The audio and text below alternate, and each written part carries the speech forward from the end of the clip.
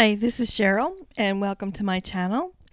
And I am doing a stained glass piece um, with a sun catcher of a little chick in a little pond. And I cut out all my glass pieces as you see here, and they're all fitting up pretty nicely. So we will move on to grinding the edges with the grinding machine. So basically what we're doing is um, smoothing out the edges, making sure there's no uh, rough bumps or shards, and also making sure that we have our pieces trimmed down to exactly um, how the pattern should be so that we get a nice fit together with the other pieces. So I did this piece in in uh, double time, and then we'll it will pick up everything. It's the speed for everything, so we can get through. Um, and this video won't be so very long. Um, I know I promised a dragon's head, and I have it all designed, and I just need to get some glass for it. Uh, I have some specific idea in mind in color, so um, that will have to wait until the next one.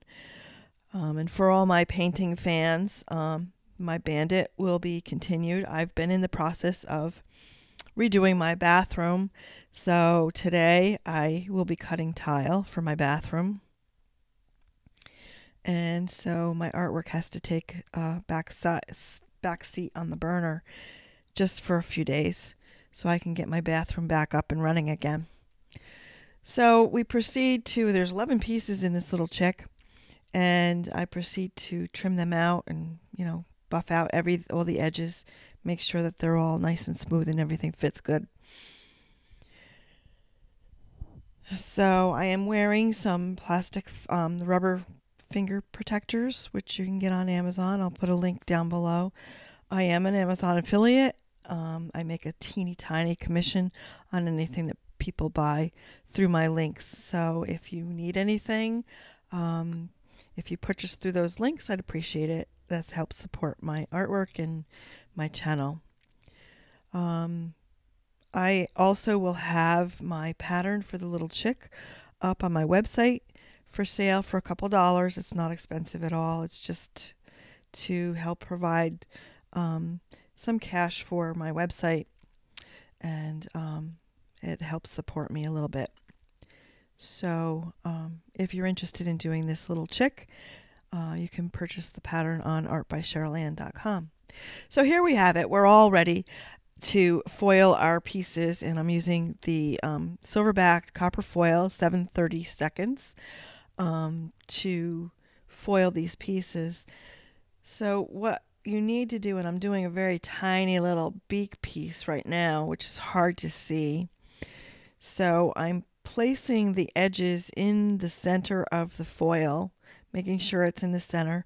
And we want to overlap our foil by about a quarter of an inch and then um, gently fold over the foil onto the edges. So like in the case of um, sharp um, corners, you want to do it kind of like an envelope fold one side in and then fold the other side over top of it.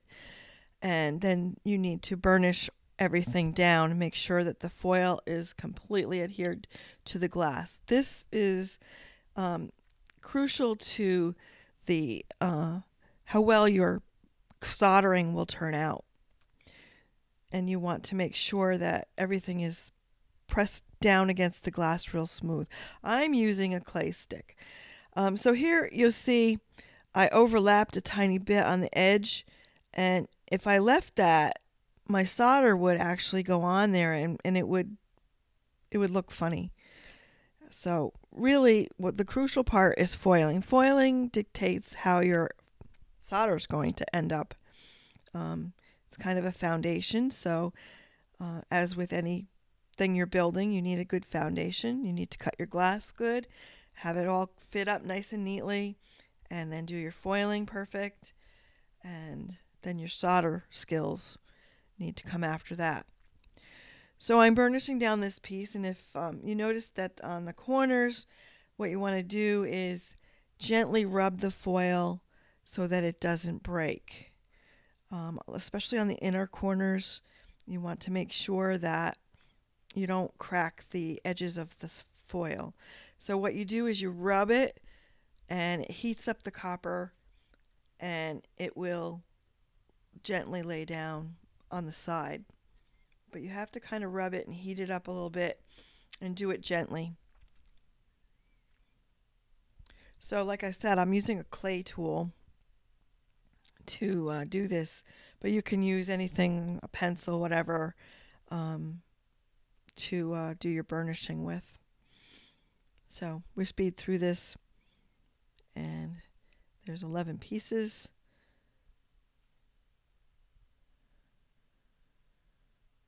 See how I'm rubbing it? Rubbing it gently to get it to lay over. And if you do break your piece, don't worry, you can put a piece of foil over top of it. Um, but you need to make sure that the edge is covered um, and everything, the seams all match up nicely.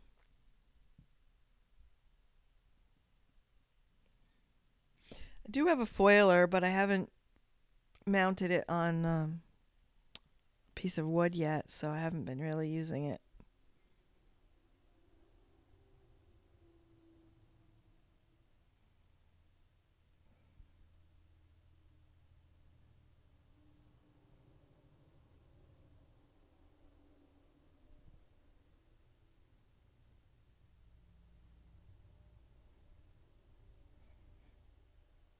So if you like to work with glass, I mean, this is a cute little pattern um, that I came up with. And uh, I don't know, Easter's coming, so I thought a chick would be fun.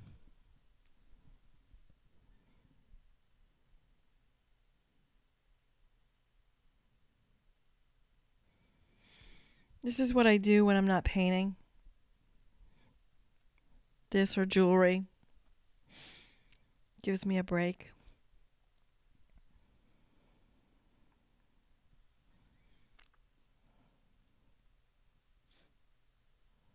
But this past week I was unable to post up a video because I was working on my bathroom.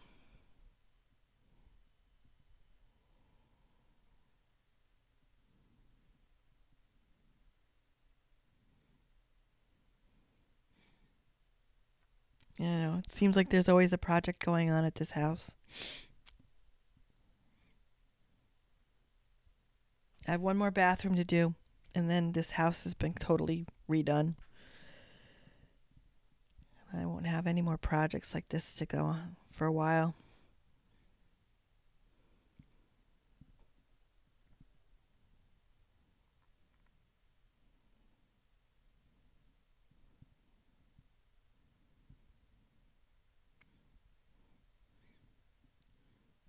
So let me know if you want to see these videos in real time. I this I think was like um, two hours that I had a videotaping. Um, I did not film the cutting of the glass in this one. Um, or would you prefer like a mixture like what I'm done here? I've kind of got some segments where it's slower and you can watch closely and then uh, I've got some sped up um, portions so that it wouldn't make the video too long. Let me know what you like. I like to hear from you.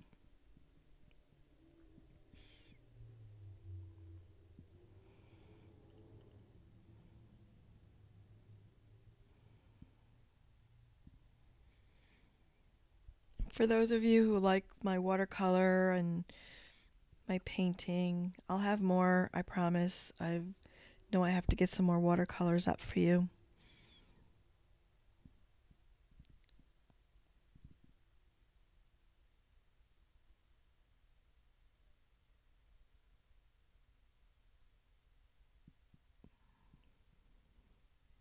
If you stick through this video, by the at the end, I'll give you some pointers on soldering.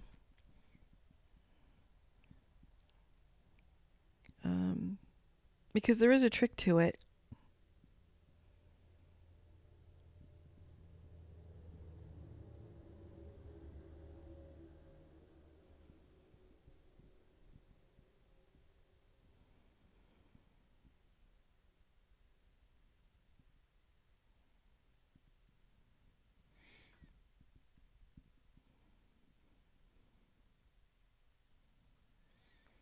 My wet saw is waiting for me for my tile work for the floor, but it's too cold. I have to wait for it to warm up. So I thought I'd get this video up and running.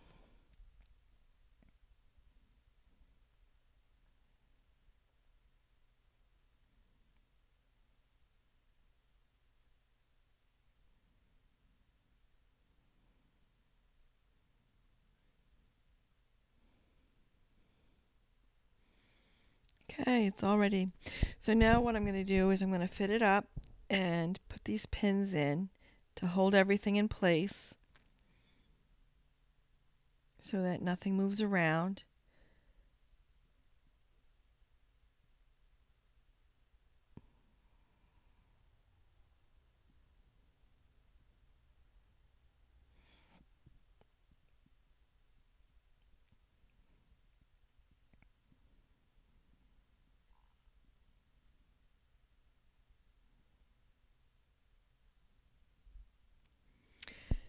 And we take some um, my soldering gun with 6040 solder and flux.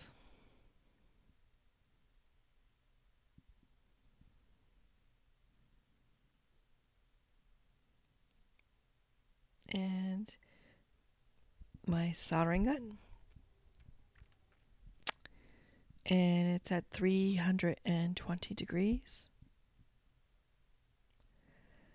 And what I want to do is just put a little tack, a little drop of solder at all the little corners to attach all the little pieces.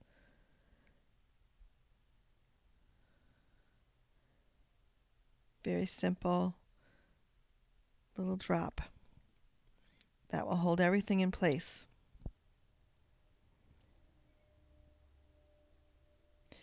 So don't forget to use your flux. flux my piece. And what I'm doing here is I'm not looking for perfection as far as my bead goes right now. I'm just filling the seam with some solder. Just going over it real quick and filling it with solder.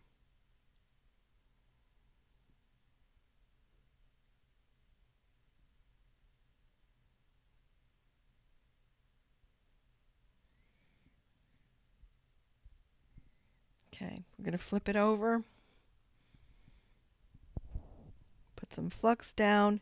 And then what we want to do is we do want to make a nice seam on the back. Take your time and make sure you have enough solder down. And what you're looking for is a nice rounded bead, a smooth rounded bead.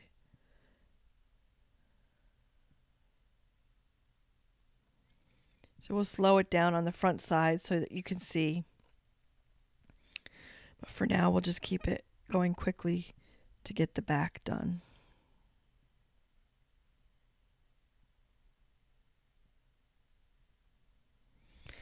Then I want to tin my edges. And it's basically putting a coat of solder on the edges. Don't forget, you need to use your flux. It will not work without the flux.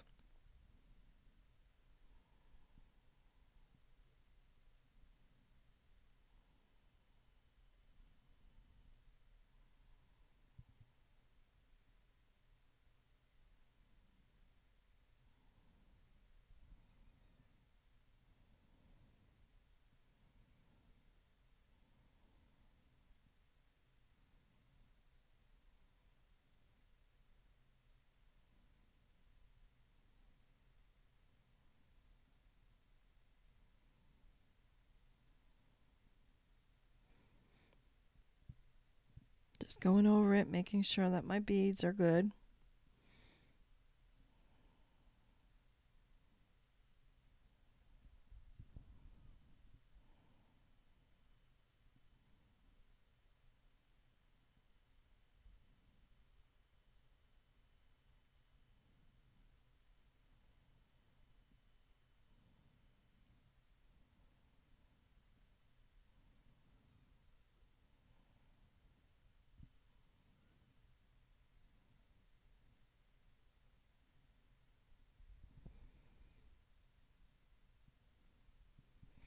And let that cool down a tiny bit.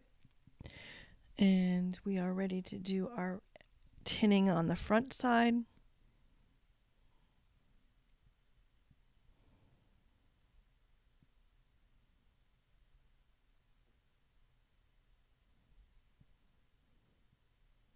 And now we want to put some tinning on the edges. Now you need to hold your piece perpendicular and hold it so that um, your solder will not run off. So you need to keep turning your piece and I keep tapping the solder on to make sure I have a nice rounded edge.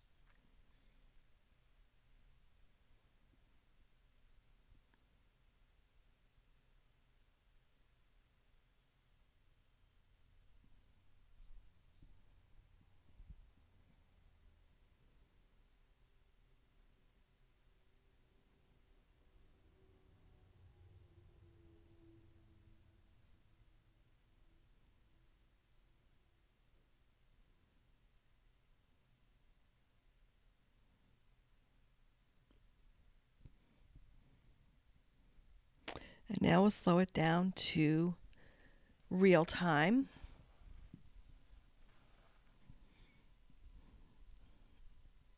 And we'll talk about soldering. See how I'm going slow? I'm heating my solder up as I go so that it melts. And I'm running through the seams. I'm making sure that I have enough solder on to get a nice round bead. And at the joints, I go into each line to heat them up. And you keep pulling, making sure that you don't lift up.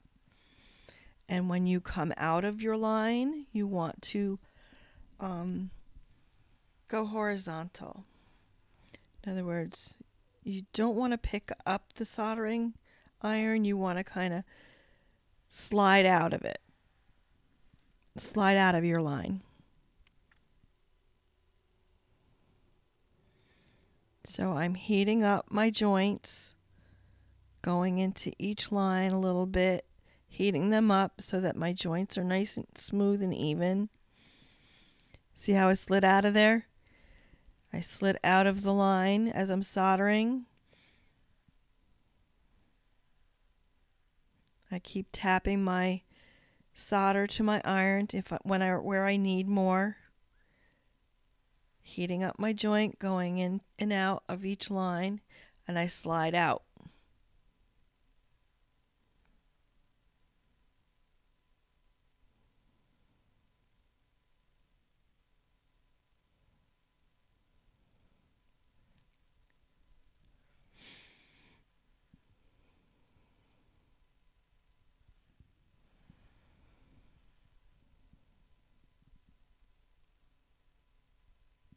Heating the solder up,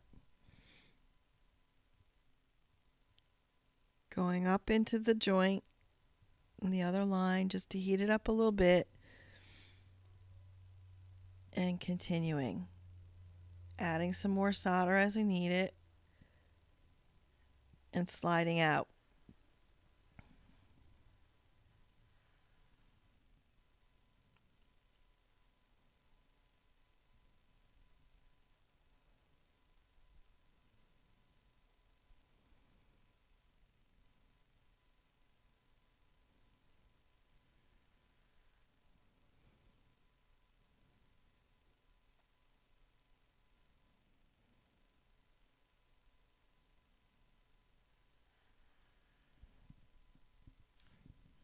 Adding more solder as I need it.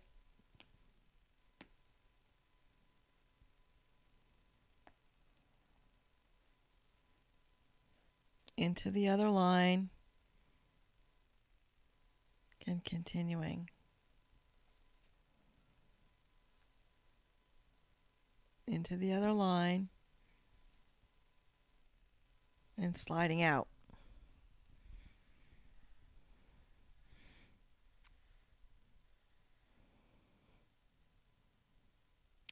So now as you do that, it does heat up the back side a little bit and you want to check and make sure that your beads are still good. And you fix whatever you have to fix. We're at the point now where we just go over it and make sure that everything. See that little flat spot there? Easy to fix. Just slide in and out. Heat it up. Make sure your edges are all nice and smooth.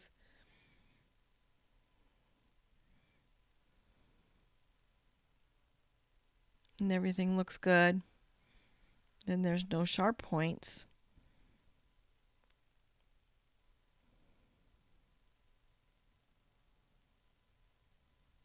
that's the back of it. And that's the front. But they look good from both sides.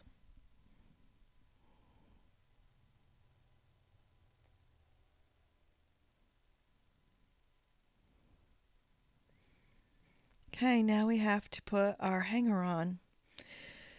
And always with the sun catchers, you want to make sure that they're going to hang the right way. So you have to kind of offset the weight from one side to the other and decide how or where the hanger should be so that the piece will sit the way you want it. Of course, you want the little chick's pond to be horizontal when it's hanging. So it has to be more towards the head um, than the body because the, the head part has all the weight. The head side has the weight. So I think I'm going to put it right at the seam. Right there. So I put a little flux. I already tinned my little round jump ring.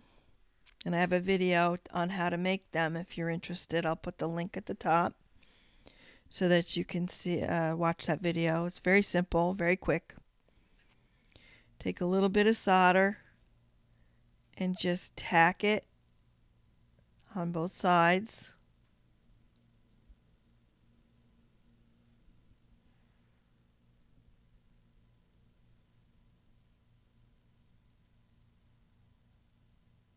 Let it cool down.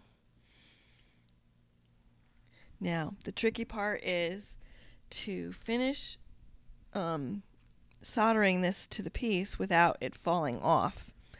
So I use my wooden stick and just hold it down a tiny bit and put enough solder on there so I can blend it in so you don't see the actual jump ring on the chick. It's just solder.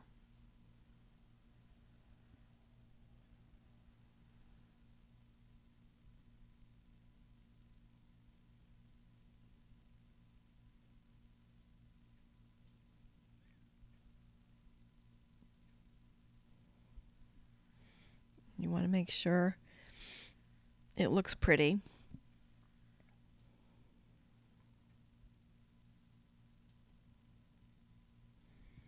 Don't worry about the solder pieces on the back. They, they come right off the uh, little flex there. So turn it over and then just clean up your solder work on the front.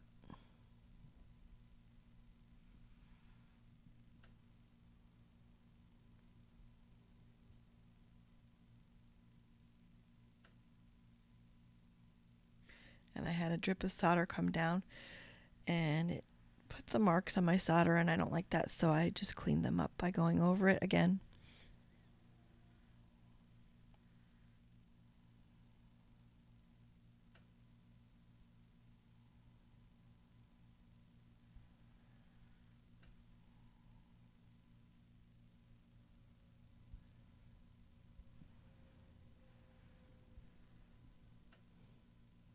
So if you like this video, please hit the like button. Don't forget to subscribe if you haven't subscribed so that you don't miss my future videos. And um, hit the bell so that you can get notifications when I put a new video up. And I appreciate that very much. And there you have it, a little chick sun catcher. And Easter's coming. Make sure it hangs straight the way I want it. And then you need to take it to the sink. I use Dawn detergent and a sp sponge just for uh, doing these sun catchers. And then I hit it with um, a little bit of um, pledge wax. But make sure you scrub it well with the sponge because you want to make sure you get all that flux off because it will tarnish your piece if you leave it on there. So don't forget to come back and see my future videos. I look forward to hearing from you. Put a comment in. Thank you.